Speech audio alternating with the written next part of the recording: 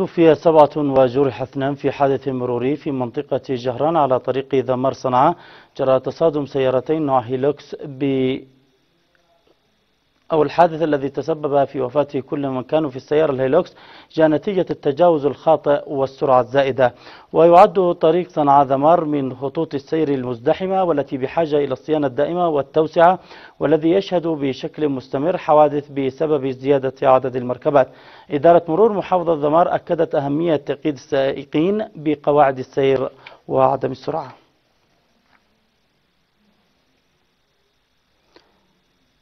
نتيجة التهور والقطع والدخول من الخط المعاكس إلى خط السيارة التي كانت تمشي في خطها بسرعة إلا أنها في خطها.